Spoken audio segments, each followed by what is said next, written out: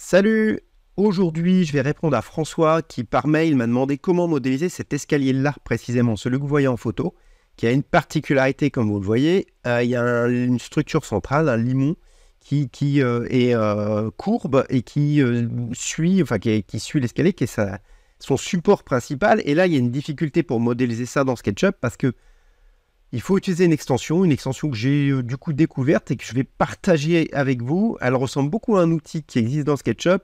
À une différence près, vous allez voir. Je vais vous montrer un peu le process. Ça va être assez rapide. Et on va voir par l'occasion comment dessiner un escalier parce que ça va toujours être un petit peu de la même manière. Je commence tout de suite. La première chose à faire, c'est de dessiner l'escalier au sol, à plat. Alors là, je n'avais pas de plan, juste cette image d'exemple.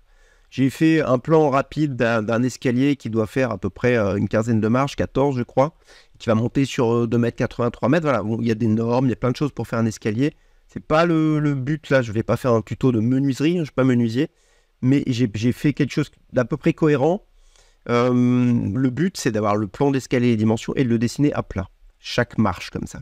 Une fois que c'est fait, on va faire un groupe de chaque marche alors, vous voyez que là, j'ai des marches identiques au départ. Et qu'après, je vais avoir trois marches un peu différentes, quatre marches différentes, et je vais repartir sur des marches identiques. Là et là, ce sont les mêmes, mêmes dimensions. Donc, je vais faire un composant, créer un composant. Je vais l'appeler marche droite, par exemple.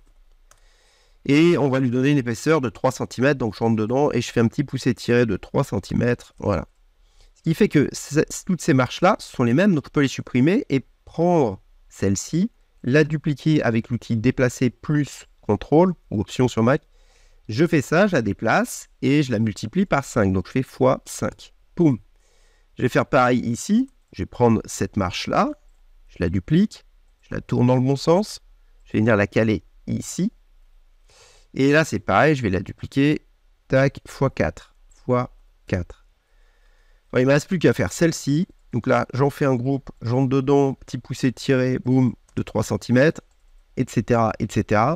Donc ça, groupe. Voilà, j'ai mes marches. Maintenant, je vais les espacer chacune de 20 cm. C'est 17 cm entre les marches, plus les 3 cm de la marche, ça fait 20 cm, ce qui est à peu près cohérent pour un escalier. Donc je vais le monter cette marche de 20 cm.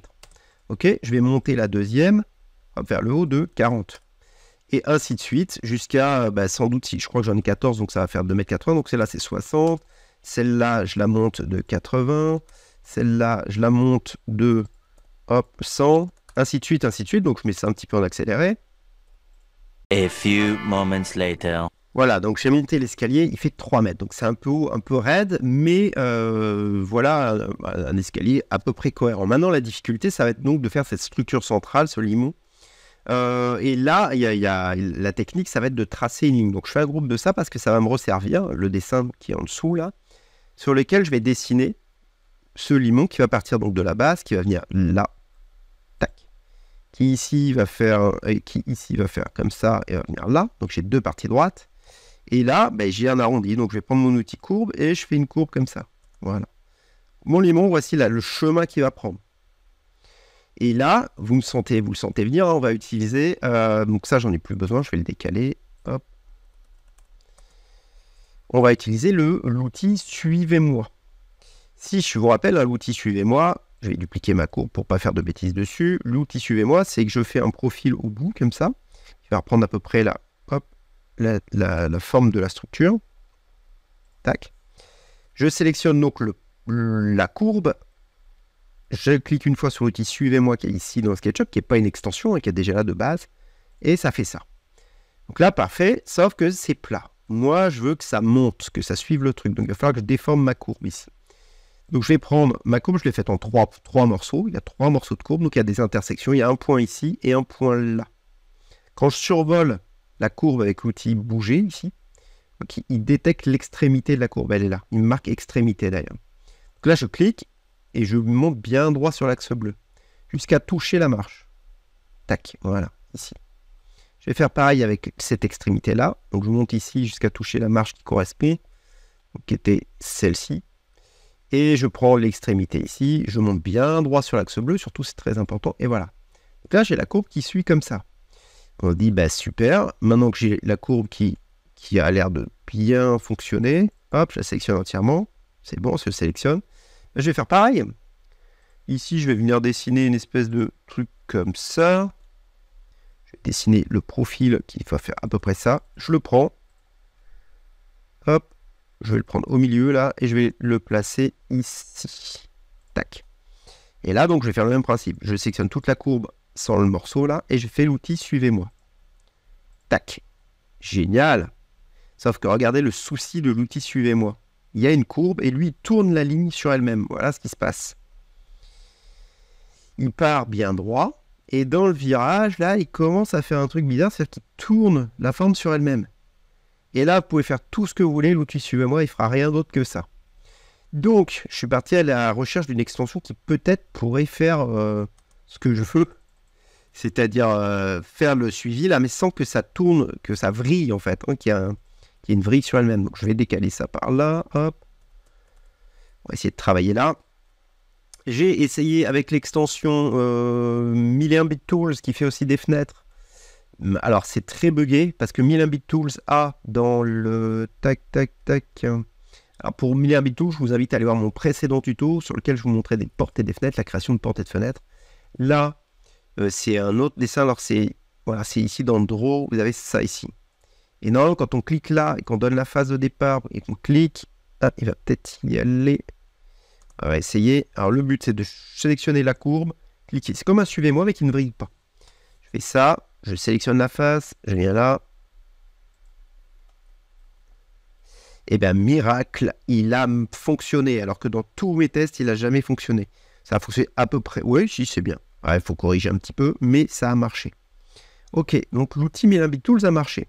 Sauf que, vous allez voir que chez vous, si vous essayez, il, est régulièrement buggé. Donc, je vais vous montrer la solution que j'ai trouvée, euh, qui est une autre extension qui s'appelle cette extension qui s'appelle Upright Extruder. Donc je vous mets ça à l'écran. Vous allez sur l'extension warehouse et vous allez taper euh, Upright Extruder sans faute. Et c'est cet outil-là, NROS Upright Extruder. Vous l'installez, c'est gratuit. Et il y a cette petite barre d'outils qui arrive. Et là, c'est vraiment très rapide, puisqu'il va juste suffire de sélectionner le tout, comme ça. Sélectionner tout. Et vous cliquez là-dessus. Et voilà ce qui se passe. Et c'est sans aucun défaut, sans, aucun bug, ça marche à tous les coups. Donc en gros, ben, écoutez, on a le choix. On a soit cette extension Upload Extruder qui va vraiment faire un suivez-moi mais sans vriller, ou gratuit aussi, l'extension 1001 Bit Tools, mais je vous assure, pour l'avoir testé, que euh, ça marche une fois et parfois ça marche pas et je sais pas vraiment pourquoi. Donc je vais sélectionner ça, ma courbe, tac, et j'y vais, upright extruder, voilà. Bon, maintenant, on n'a plus qu'à faire quelques petites corrections sur l'escalier pour essayer de le ramener, doucement, ici. Euh, alors, peut-être en plusieurs fois, vers le haut, vers le milieu, voilà, un truc comme ça, un petit peu en arrière. Voilà. Et si on regarde l'image de départ, on a aussi des petites structures là qui tiennent les marches, évidemment. Bah, alors là, euh, une fois qu'on a ça, on fait bien un groupe de tout. Et puis il faut juste modéliser quelque chose qui ressemble à ça. Ou si vous avez les plans, bah, faites-le. Je vais faire un truc à l'arrache très rapidement, une sorte de patte. Tac, voilà, dessiner ici. Donc ça, ça serait en dessous la marche. A priori, c'était un peu comme ça. Voilà, donc je le fais à ma manière très vite, juste pour signifier qu'il y, a quelque chose qui, est un support en dessous, évidemment. Je lui donne une petite épaisseur. J'en fais un composant, un groupe et un composant parce que c'est amené à être répété, donc euh, on va en faire un composant. Et on va mettre ça en dessous. Voilà, avec... Euh, donc si je regarde bien, bah c'est pris un peu sur le limon. Bon, là, il faudrait faire euh, des modélisations, des, petits détails évidemment de modélisation, quelque chose comme ça.